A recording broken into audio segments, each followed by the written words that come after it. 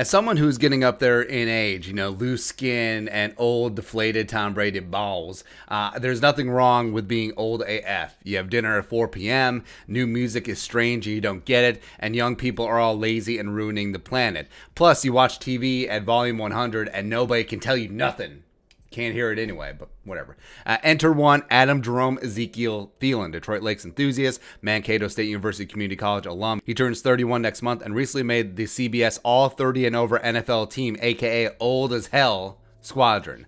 Uh, here's the write up quote While he turns 31 in August, Thielen is still one of the most consistent receivers in the National Football League. He recorded a career high 1,373 receiving yards and nine touchdowns in 2018, but then missed six games due to injury the following season. Without Stefon Diggs to work off of and him turning 30, some thought Thielen could take a step backwards, but that did not happen. Thielen put up 925 yards and a whopping 14 TDs, which ranked third among all receivers. His AV of 8 ranked second among all receivers considered for this list, end quote.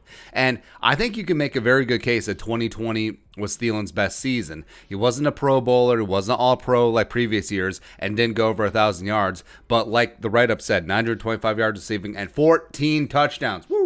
All on only 74 catches and only 108 targets. That is insane efficiency on a run first team. And at this stage of his career, I think that he will benefit greatly as Jefferson rises up and is that alpha wide receiver one. Because Thielen is going to feast against secondary secondary coverage. And it's clear that he and Cousins do have a nice rapport. 217 receptions, 2,700 yards receiving, 29 touchdowns over the last three seasons. So I think that as Thielen ages like a fine ass wine, he will have a dynamite 2021. And Jefferson could extend his career where if someone really does step up as that wide receiver three, maybe eventually wide receiver two, we'll say ISM, we'll say Whop Philyor, we'll say Prohl, whatever. Uh, then Thielen can uh, sort of settle into that Larry Fitzgerald late career wide receiver three, work from the slot type role where you're not even going up against secondary coverage now. Now you're going up against tertiary coverage, so you can just get after that. Because Adam Thielen, uh, he's always going to be completely underrated athleticism wise, but he's one of the cleanest receivers in the game. He's got uh, he's got vice grips for hands.